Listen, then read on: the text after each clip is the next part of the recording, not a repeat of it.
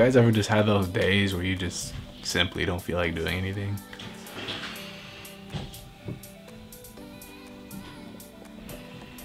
Today is one of those days for me. Not gonna lie, I don't know what it is. I don't know if it's the weather, cause it's, hold on, hold on.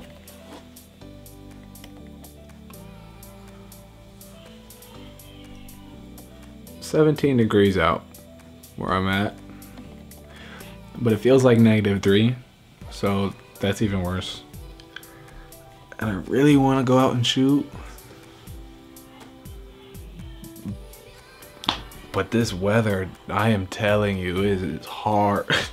it is hard to want to get out and do that. When your hands are literally about to freeze off, I, it is super hard. The thing is, I've been stuck in the house all day. I have not done anything besides go to class and I have nothing the rest of the day, so I feel like I have to be productive. Oh, oh man. All right, forget it. Let's do it.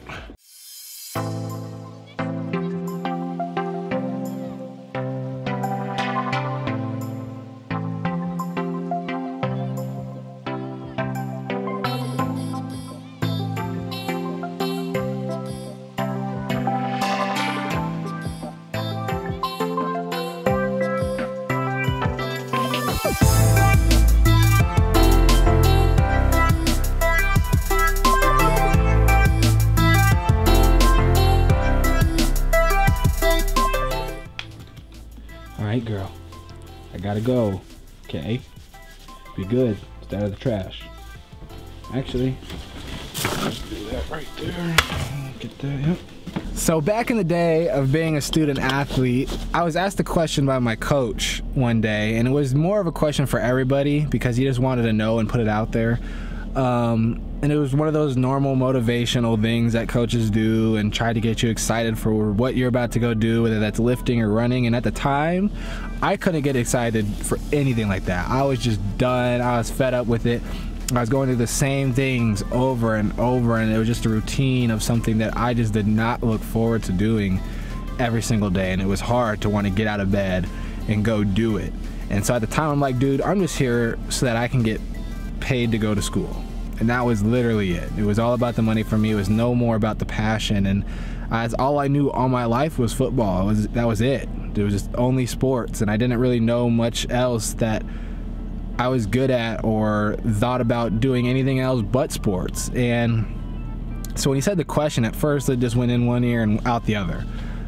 But as I started thinking about it and I started pondering on it a little bit more, I tried to figure out what it is that I wake up every single day and get excited to do because I've lost that. Football isn't that anymore. So what is it going to be? And so today, guys, I'm questioning you. What is your why? What is it that makes you get out of bed and excited to start the day? I mean, everybody has those things in life and their day to day routine that they just don't want to do, but they have to do it. But I think that there should always be in your life one thing a day that you are super excited about doing. And if you don't have that, then what's the point of your day-to-day life like get something that you're excited about get something that you're passionate about and just go do it so that's going to be the theme of this video today guys is what is your why? And in a little bit we're going to talk about what mine is and kind of go into further detail on that. So you can get a little bit more insight as, as to what I do and why I do it. So without further ado guys let's go shoot some b-roll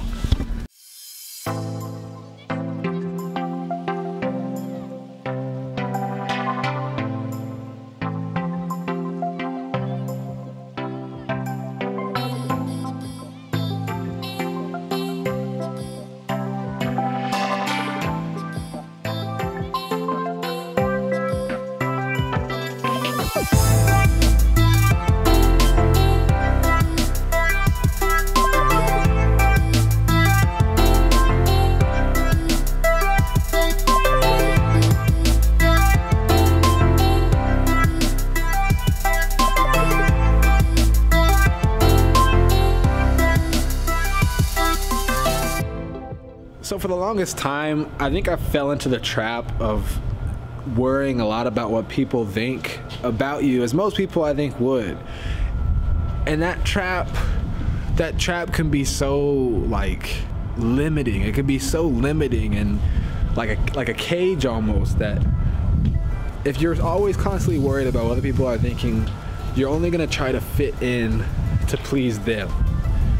And at the end of the day, it's not their lives you're living, it's your life you're living. And I think that if you are constantly worried about other people's opinions and views and thoughts, then you're just not gonna be able to live your own life the way that you would want to. I was on Facebook the other day and I saw something and it really stuck with me and it's gonna continue sticking with me because it was so deep. And it said, I was talking with my therapist one day and he said, Hey, have you ever thought about it this way? Instead of worrying about what if it doesn't work and what if it doesn't go right and what if you aren't successful think about the other way. What if you are? What if everything works out perfectly? What if everything you do it just turns to success? And what if all your hard work pays off? What if? Why i think what ifs are always negative but what if it's positive? I've, I've never thought of it that way and it just has stuck with me so much since. So why don't we start thinking that way? Why don't we start thinking what if it works what if it pays off what if tomorrow it happens? What if everything I thought could go wrong doesn't and it goes the opposite and it goes perfectly? What if why don't we think like that? And I think that in order to be successful in anything you do, you have to think like that because there's so many times nothing comes easy. Nothing is just a straight up path like this. It's never like that. It's always gonna be ups and downs, and I think that when you're on those down times, that's when it's the easiest to give up. But I think that those are the times that really show if you're gonna make it or if you're gonna break. I'm not trying to sound like a motivational speaker or anything like that. I'm just telling you guys why I'm doing what I'm doing. And it's because a simple fact of I've always stopped. I've always just been told I can't do it or I'm not going to be able to do it. And at the end of the day, I'm just running out of time. Every day we're we're living, we're dying. So why aren't we living the life we want to live now? And that's all I'm doing. That's all I'm simply doing. My passion, my why is simply to be creative, show God's work, and make something for other people to see the beauty of this planet, of other people, of everything in a way that they not they might not normally see it. And I'm only starting. Like I said, I'm six months in to this photography, videography thing. And I'm I feel like I can only go up from here and that's all I'm gonna do I'm gonna keep learning keep working keep driving and see where how far I can take this so without further ado guys thank you for checking out my video if you want to keep following my journey follow me on Instagram the link's gonna be in the description below as well as my Facebook page also as always like comment subscribe really helps me out um, anything that you guys do that interacts with me it lets me know you guys are there listening, watching, and I'm giving something of value to you, it's awesome. It's always awesome. So, without further ado, guys, thanks for checking out, and uh, I'll see you next time.